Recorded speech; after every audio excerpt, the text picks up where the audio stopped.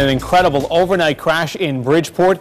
DoingItLocal.com reports it happened at about 2 in the morning. A speeding car went by police hit several other cars along Fairfield Avenue, including one carrying some kids. The website reports the children were taken to the hospital.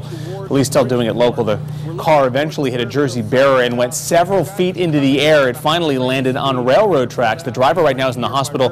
No word yet from Bridgeport police on any charges. We don't know the conditions of the people involved. We'll keep our eyes on this story, keep you posted as we get more.